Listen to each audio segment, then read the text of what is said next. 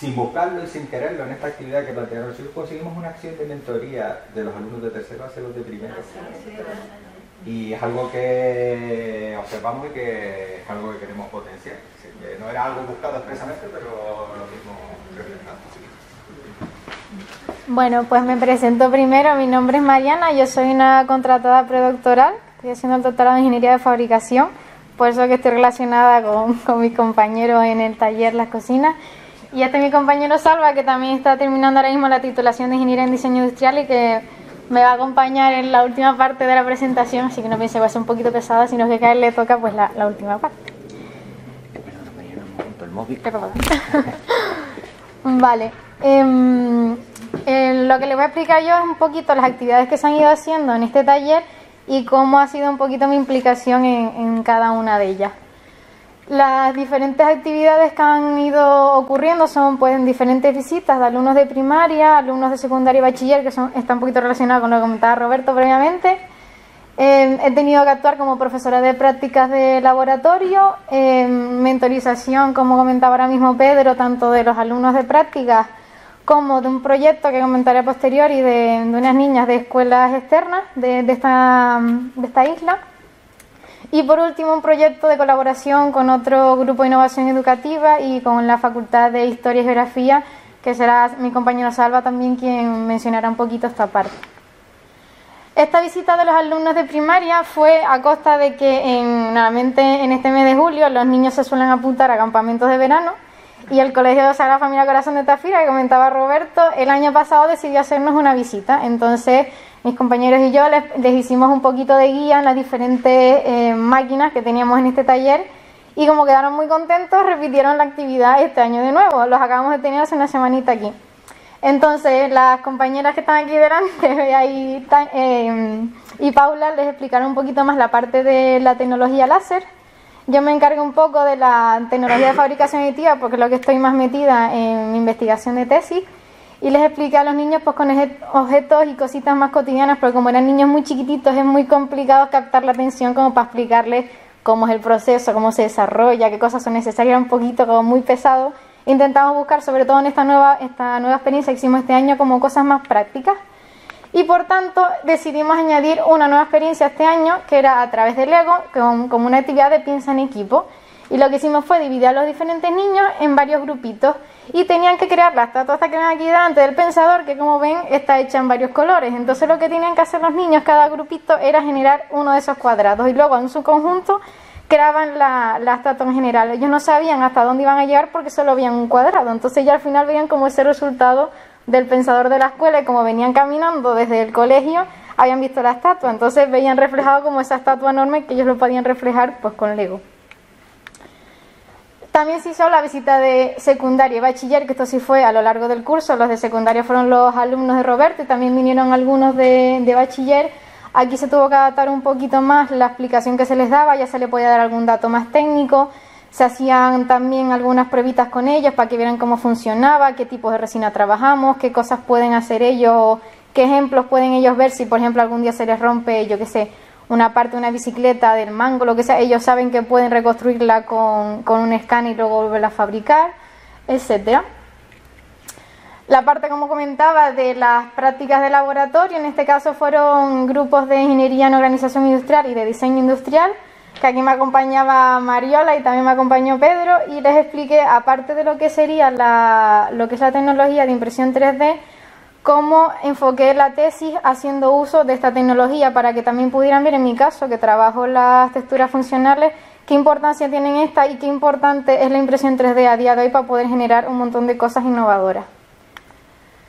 En respecto a la parte de mentorización, realicé la mentorización con los alumnos de prácticas externas, les expliqué pues un poquito también cómo funcionaban ambas tecnologías, la de impresión 3D y la tecnología láser y no solo actué yo como mentora aportándoles mis conocimientos por haber realizado también un máster en otra universidad que me aportó conocimientos nuevos, sino también ellos a mí me aportaron pues otras ideas, otros puntos de vista y con esto se consiguió hacer un montón de proyectos que han dado muy muy buenos resultados y que nos han felicitado varias, en varias ocasiones. La mentorización que les comentaba del proyecto de Tecnoguel eh, se hizo en, en las diferentes islas a lo largo de todo el mundo y se usó a niñas, sobre todo, como antes mencionaba, para empoderarlas un poco y meterlas en ese ámbito un poco más tecnológico. Y lo que se les hizo fue comentarles que buscaran pues, problemáticas que se encontraban en el día a día y que ellas intentaran darle una solución de manera más tecnológica, pues también compaginando un poco lo que son desarrollar el liderazgo, habilidades creativas, etcétera. Estas niñas eran entre 8 y 18 años, mí me tocó un grupito de entre los 13 y los 15 y los mentores pues podíamos ser tanto estudiantes de doctorado, estudiantes normales de diferentes grados, padres que también se asociaban a nuestros grupos y diferentes profesores de cualquier área. Esta programación se empezó a final del, del, año 2021, un poquito explicando a los mentores cómo teníamos que realizar todo el proceso y durante los primeros meses de este año se fue realizando esa, esa actividad que les comentaba con los siguientes pasos. Ahora les voy a poner un vídeo Vale, esta es la aplicación que crearon las niñas. Em, ellas vieron que la problemática que existía era que actualmente hay muchas personas, sobre todo mujeres, ¿no? que sufren violencia de género. Y descubrieron que no hay, o, por así decirlo, una aplicación en la cual ellas puedan pedir ayuda, pues normalmente son personas que están controladas, que no, no les es fácil pedir ayuda al exterior. Entonces, decidieron crear una aplicación del cuidado de un animal de manera un poco como oculta, en la que hay un botón violeta que identifica ese botón de, emergencia para que en un momento determinado sería el botón de arriba de la comida, ellas pudieran pues darle al botón y solicitar ya la llamada de emergencia al número correspondiente. Entonces eso es un poco cómo funciona la aplicación a modo de, como de ocultar ese botoncillo con diferentes botoncitos como el de la música, el de bañar al pájaro, creo que después sale el de como el de que está cantando. Y ahora se verá, si no tarda mucho, el botoncito de emergencia. A ver. Este, y ya sale directamente la llamada. Simplemente tendría que pulsar el botón y ya se activa la llamada de emergencia, pues, por un caso en el que pudiera suceder eso. Y bueno, aquí un poquito más adelante simplemente ese sería el modo incógnito de la aplicación y está el otro modo de acceso directo en el que ya pues tienes los diferentes eh, botones de, para llamar a los bomberos, a la policía, pues como si fuera una aplicación general de, emergencia. Y bueno, por último, que es donde aquí ya entrará un poco compañero Salvas, el proyecto que tenemos en colaboración con otro grupo de investigación, como comentaba la Facultad de Historia y Historia y Geografía. que usamos las tecnologías que les comentaba antes, las de corte y grabado láser y la de fabricación aditiva para generar una maqueta que es la representativa del barranco Guiniguada. Usamos diferentes materiales como son el metacrilato, la madera, la resina o el fieltro para poder representar diferentes texturas y diferentes tonos porque según la normativa Braille como mucho tenemos que tener cinco texturas. Entonces, aparte de combinar esas texturas, también le damos otro aspecto con los diferentes colores y materiales. Bueno, dale. Bueno, eh, yo soy Salva, que soy el típico caso de alumno que está terminando la carrera, pero deja el TFG para el año que viene, por diferentes motivos. Y pues mm, este proyecto ha sido muy bueno para mí porque realmente he podido pasar por todas las fases del proceso de diseño y he podido ver todo lo que implica lo que voy a tener que hacer en el TFG, por ejemplo, ¿no? Eh, otros compañeros han hecho TFG diferentes, pero bueno, yo a mí me gustaría dedicarme a algo parecido a esto. El trabajo en equipo en este caso ha sido súper importante para mí porque hemos trabajado un montón de personas dentro del ámbito de la cocina en conjunto para llegar a esto. Por ejemplo, Mariana ha hecho toda la parte de las texturas que tenía que ver con su tesis y demás. Otros compañeros han aportado su granito de arena y antes de llegar yo a la parte del modelado y demás, pues ya habían otras personas que habían hecho otras partes del proceso.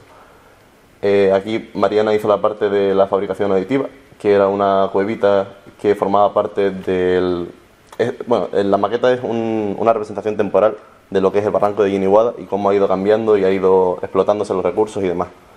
Eh, está representado con diferentes eh, partes, por ejemplo, de este cultivo con diferentes niveles, las canteras, cosas que han ido cambiando en el tiempo.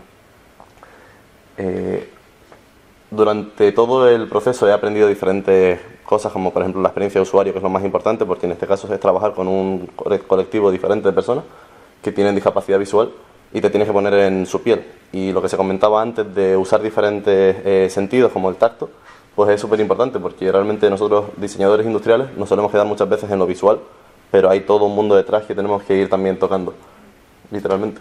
Entonces, eh, al principio empezó un profesor, Moisés, del Departamento de Cartografía y Expresión Gráfica, haciendo un boceto así inicial en, una, en un programa para saber cómo eran las diferentes partes y poder ya empezar a trabajar.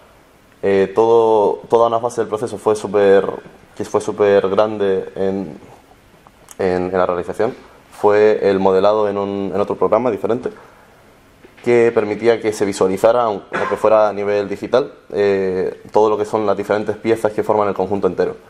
Una vez que hicimos el prototipo primero, el primer modelo, eh, vimos que realmente los programas sí tienen toda una serie de vamos, ventajas brutales que son innegables, pero es cierto que una vez que se materializa una cosa, como decía mis compañeras antes, eh, llegas a ver, o sea, aparte de la ilusión, que no se ve del todo en nuestras caras, pero la verdad que estamos muy ilusionados por llegar por fin a hacer una cosa, y no verlo solo en la pantalla, eh, ves toda una serie de fallos y de cosas que son un montón de elementos interrelacionados, entonces tienes que verlo en físico. Y a partir de ello aprendimos un montón y es una cosa que, por ejemplo, para nosotros eh, entender que hacer modelos, prototipos y maquetas pues es súper importante, también fue muy bueno para mí. Toda esta parte de la texturización fue Mariana la que hizo la mayor parte y es de las más importantes porque es, lo, es mediante lo cual los, las personas con discapacidad visual tienen que entender cómo es la, el barranco, el espacio. Eh, está siguiendo una normativa braille que no sé si cumplimos del todo al final, pero bueno, pues estamos, ahí en ello. Poco a poco, porque no hay tampoco mucha información concreta a la hora de realizar texturas, entonces estamos buscando, complementando, dando ideas hasta ver si llegamos a, una cosa un poco en consenso. Mm. Hemos cambiado varias veces de las texturas, las diferentes altitudes y demás. Y por último hicimos una prueba piloto con, con, unos chicos que vinieron a ver pues más o menos cómo trabajábamos, ¿no? la experiencia que dijo antes Mariana. Y una parte pues fue la de enseñar cómo pues, las personas con discapacidad visual, ciegos, eh, ven a, través del tacto, ¿no? que es una cosa súper importante que realmente no, no tenemos muy en cuenta en el día. Y además está adaptado para personas, o sea, esta es la función principal para personas con discapacidad visual, pero también está adaptado para el uso de la, de la gente común sin, sin, este, sin esta cosa. Esto sería todo. Pues, muchas gracias. Pues,